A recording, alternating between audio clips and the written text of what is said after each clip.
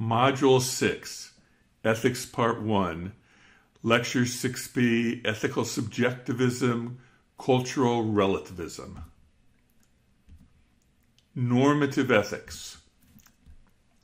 We will be studying normative ethics, which looks at different systems to make ethical decisions.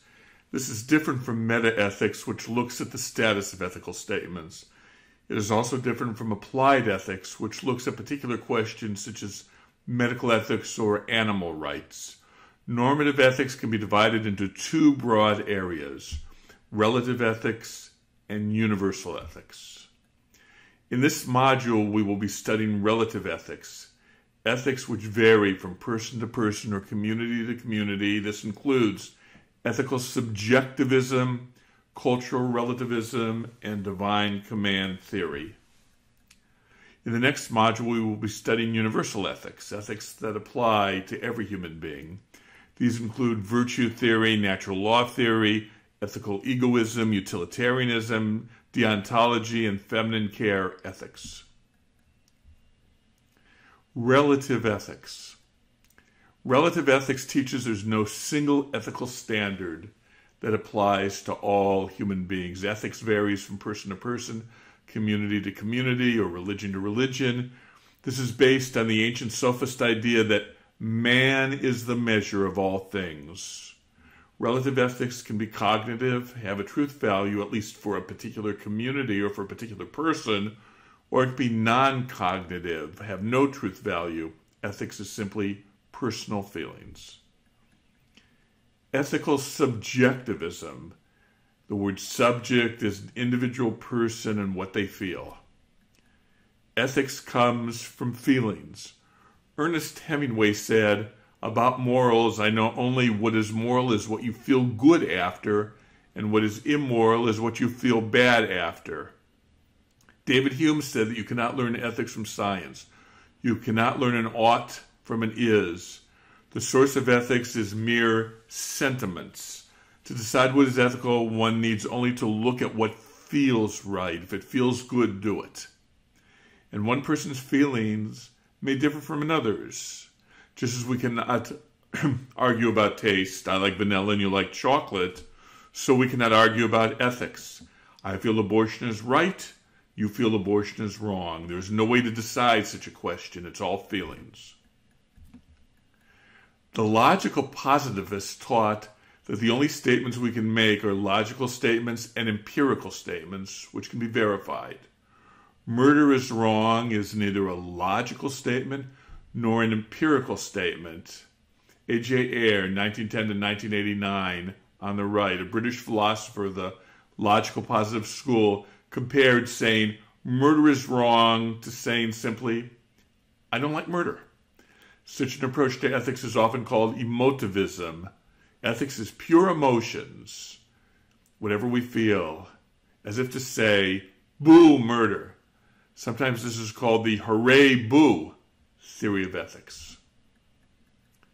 Feelings versus reason. A central tenet of the Enlightenment was the centrality of reason to interpret human affairs. Immanuel Kant famously wrote in his 1784 essay, What is Enlightenment? the phrase sapere aude, dare to know. It can be translated dare to reason. Kant would develop his ethical theory entitled Deontology, based entirely on human reason. We will study that. One would think that the Enlightenment approach to ethics would be entirely based on reason. Nonetheless, not everybody agreed with the centrality of human reason. Already, the Christian philosopher Blaise Pascal, 1623 to 1662, we studied him when we talked about Pascal's wager, taught the heart has its reasons of which reason knows nothing. But the true beginning of a philosophy built on feelings rather than reason was the Romantic philosopher Jean Jacques Rousseau, 1712 to 1778. As mentioned above, Rousseau believed that humans are naturally good. It is civilization, including civilization's emphasis on human rationality, that corrupts people. Rousseau taught that if human beings could be raised in nature, they would naturally do the right thing, they would follow their feelings. This argument between reason and feelings continues to our day. Cultural relativism. Ethics comes from culture. The fundamental claim of cultural relativism is that ethics are culturally bound and right or wrong grows out of a particular culture. There are no universal ethics by which we can judge a culture. Ethics are entirely a construct of one's culture. If a culture justifies sati, which we talked about already, or female genital mutilation, or cannibalism, or even slavery, no other culture can claim that these practices are wrong. Famed anthropologist Ruth Benedict, 1887 to 1948, on right, taught that the appropriate term to use in anthropological studies is not ethics, but habits. She writes, We do not any longer make the mistake of deriving the morality of our locality and decade directly from the inevitable constitution of human nature.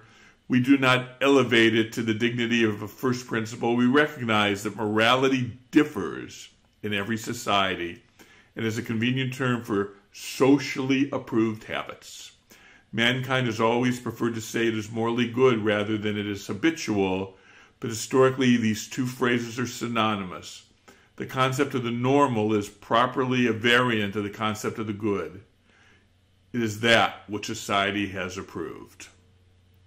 Calling behaviors such as cannibalism or headhunting habits rather than ethics removes any ethical judgment from such behavior.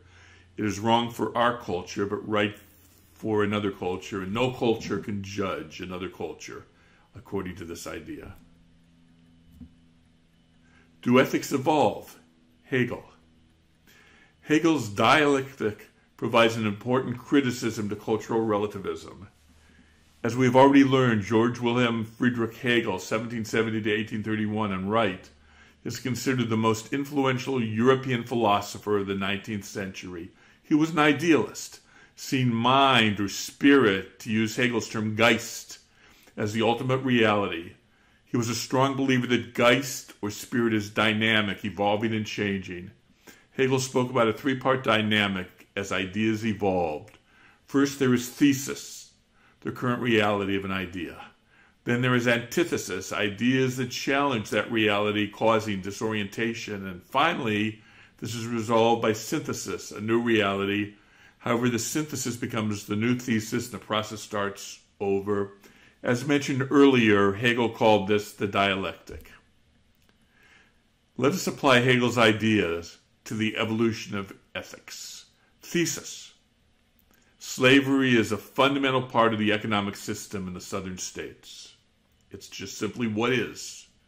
Antithesis a growing movement against slavery led by abolitionists, plus novels such as Uncle Tom's Cabin.